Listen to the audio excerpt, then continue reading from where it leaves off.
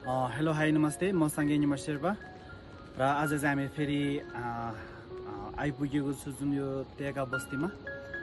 यो जुन यहाँ बाढी पहिरोले यो बस्ती डुबान परेको लगभग चार पाँच दिनको अ, हरारीमा पुग्यो। आज चार पाँच दिन पुग्दाखेरि नि यहाँको चाहिँ स्थिति कस्तो रह्यो? यहाँको जुन स्थानीयहरू र यहाँको जुन तेगावासीहरू के गरिरहनु भएको छ?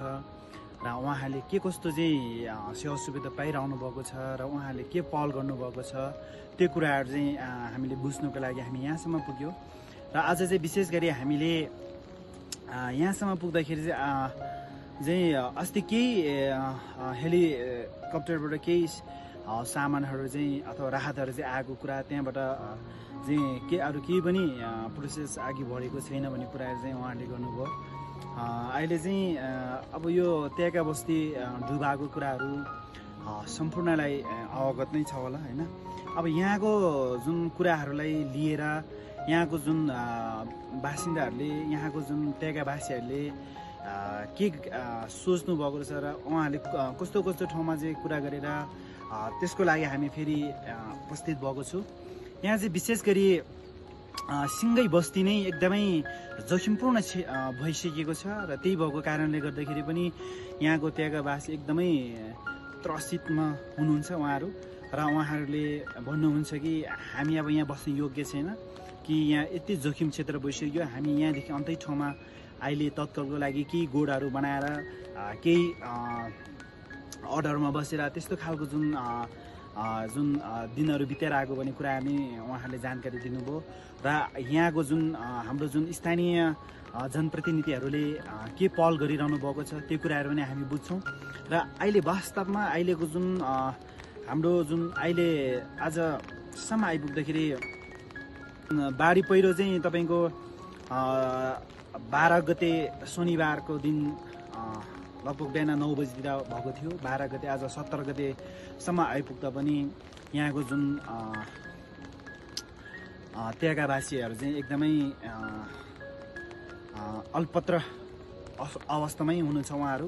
उहाँहरूले कहीँबाट पनि अहिले जुन स्थानीय तहबाट केन्द्रीय तहबाट जुन केही पनि अहिलेसम्म यस्तो गर्छु उस्तो गर्छु भन्ने खालको केही जुन रेस्पोन्स आएको छैन भन्ने कुराहरू चाहिँ उहाँहरूबाट आएको छ। र हामी उहाँहरूबाट नि प्रत्यक्ष चाहिँ जान्न चाहन्छौँ कि यहाँको गुनासो के छ यहाँलाई चाहिँ कस्तो ठाउँमा चाहिँ हुनुपर्ने रहेछ उहाँहरूको विचार के रहेछ उहाँहरूले कस्तो समस्या परेको रहेछ भन्ने कुराहरू हामीले देखे तापनि अ, हामीले देखेको र उहाँले बोकेको कुरा धेरै फरक हुन्छ। त्यही भएको कारणले गर्दाखेरि हामी यहाँकै जुन स्थानीय वासीहरू जुन यहाँ पीडितहरू हुनुहुन्छ उहाँहरूको चाहिँ गुनासो के रहेछ? हामी उहाँहरूको गुनासोतर्फ लाग्छौँ। म निमार्जी शेर्पा हो त्यहाँ गएको तर मलाई यस्तो छ तर एउटा घर मात्र पुऱ्यो होइन। तर मेरो यो बसै यो तिन ठाउँ चार ठाउँसम्म मेरो सबै क्षति पुऱ्याइरहेको छ सर। तपाईँ म अलि भिएसको तालमा थियो। तर यस्तो छम्रो भित्र अब के कसरी बस्ने के खाने के लगाउने भन्ने उसमा छ मलाई। धेरै समस्या मेरो अब हेर्नु यस्तो छ सबैले हेर्नु सकिन्छ सबै नै बगाइरहेको छ यो ठाउँमा म कसरी खाने अब फेरि पनि म यो ठाउँमा के गरी खाने के गरी बस्ने अब मेरो यहाँ बस्ने छैन त मैले सक्दैन टाढा भयो भने मैले बस्ने कुरै छैन नि यहाँ अब घर मात्र भयो भने म अलिकति सोध्नु गर्थेँ अब घर पनि छैन अब जुन अब पूजा भित्र भएको जग्गा जमिनदेखि सुरु भएपछि छ त्यहाँ गर्दा गर्दा यहाँ बस्ने सम्भव पनि छैन। धेरै दुःखी छ र हिजो चाहिँ मलाई अलिकति कुराहरू चलाइरहेको थियो उहाँले अनि मैले अलिकति आशा विषय दियो र मैले भनेको म यहाँ के बस्ने मलाई एउटा बस्न सर नै हुनुपर्छ। अब खेत त छैन केही नै छैन म के गरेर खाने? म अस्ति नै मैले भने त म भए अब एउटा रुखको पात टिपेर खाएर म जिउँछु त। अनि म त एउटा जनता हो नि त। तर मैले के गर्छ? म यहाँ के गर्ने?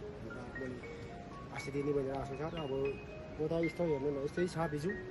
म त यहाँ जिउनु सम्भव नै छैन अहिलेसम्म मेरो यो ठाउँको नेता प्रतिनिधिज्यूहरूले कसैले केही अहिले मैले एउटा कल पनि गरेको छैन। र त्यही गरेर विषयले मलाई अलिकति गुनासो नै लाग्छ। र के अरे हामी जनता यसो पिरमा हुन्छ भनेर उहाँले एक कल पनि नगर्दा मलाई धेरै अलिकति धेरै नै मन दुखिरहेको छ तर मैले सिधै भनिरहेको छु तर ओर्ने ओछा नै छैन घरदेखि केही नै छैन। अब मैले सिधै नै भनिरहेको छु यहाँबाट चाहिँ मैले अलिकति बसासरा हुनु पऱ्यो म एक्लै बसासरा गरेँ कि अनि हरेकतिर हेर्ने यस्तो आइरहेको छ। सबैले धराप कि धराप छ। सानोदेखि गर्ने यस्तै बिजुक छ यहाँ बस्ने यस्तै छ। र मैले घुर्ने यही खोजेको हो।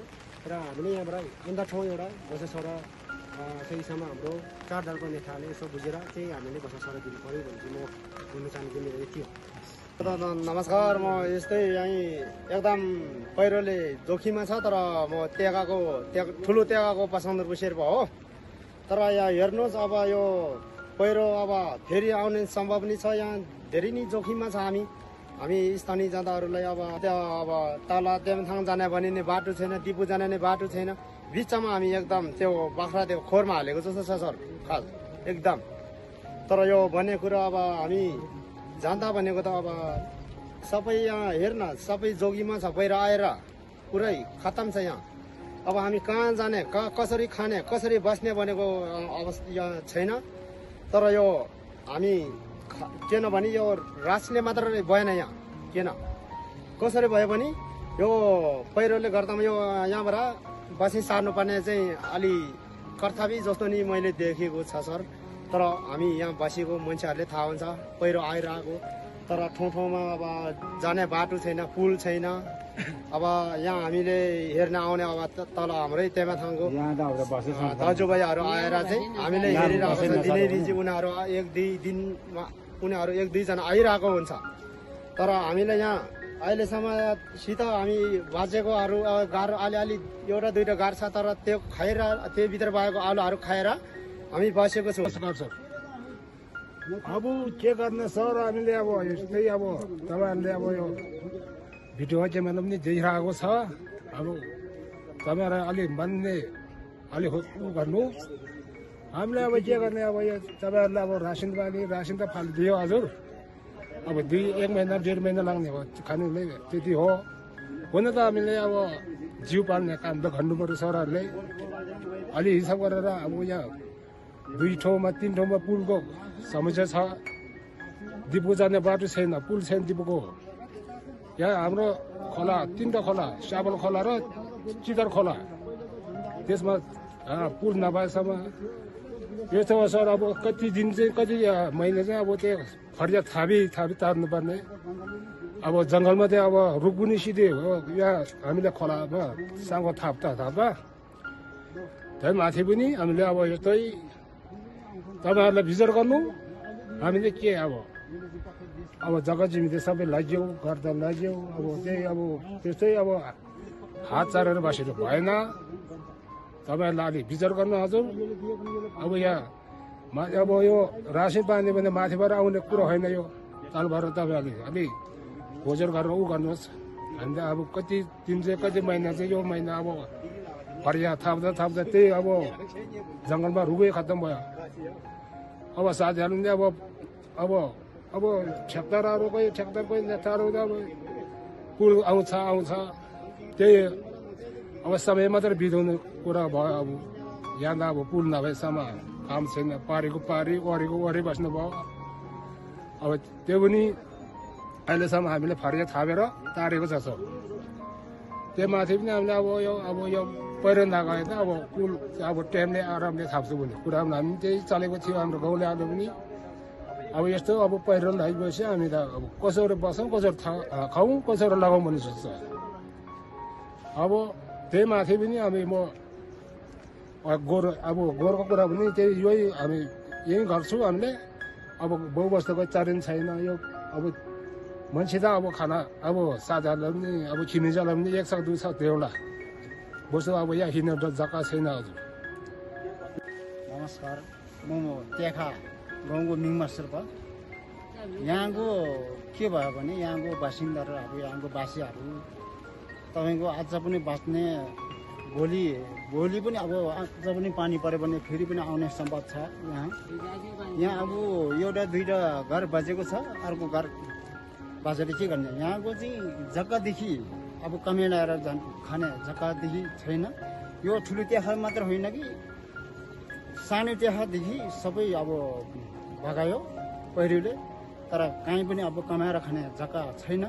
त्यही भएर चाहिँ सरकारले न अलिकति हेरिदिन्छ कि? सरकारबाट अब पालिकाबाट के हेरिदिन्छ कि भन्ने आश हामीसँग छौँ।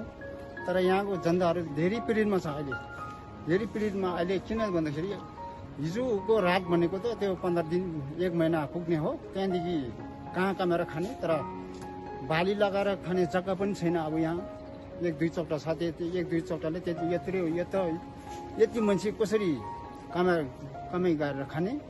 तर अलिकति विकल्प के छ भने हजुरहरूले चाहिँ हामीले अलिकति बचाउ बच साथ त्यो चाहिँ राम्रो होला कि जस्तो लाग्थ्यो। सबैले अब धर्म यो चाहिँ सरकारले पनि अलिकति धर्म गरिदियो भने हामी झन्डा हिजो चुनावको टाइममा नेताहरूले पनि हाम्रो पा वडाको नेताहरू पालेको नेताहरू मेरो जनता मेरो भाइ मेरो साथी मात्र भन्ने होइन कि? तर जितिसकेपछि हामीले पनि अब यस्तो मर्का पर्दाखेरि तर ठुलो नेताहरूले पनि यहाँ हेर्नुपर्ने कर्तव्य हुन्छ मन्त्रीहरूले पनि हेर्नुपर्ने कर्तव्य हुन्छ। हामी पनि जसरी भए पनि हामी जनता हो। हिजो खास हामी जनता छैन भने मन्त्री हुँदैन पालेको अध्यक्ष हुँदैन वडाको सदस्य हुँदैन। जसरी भए पनि यो पिर मर्का पर्दाखेरि तर हजुरहरूले चाहिँ हिँड्नुपर्ने कर्तव्य हो। भोलिको दिन फेरि पनि चुनाव आउँछ। तर हामीले अहिले हेरेन भने तर त्यहाँको वासीहरू अब यो यो ठाउँबाट चाहिँ अलिकति सार्नुपर्ने चाहिँ कर्तव्य देखिरहेको छ धेरै समस्या छ यहाँ।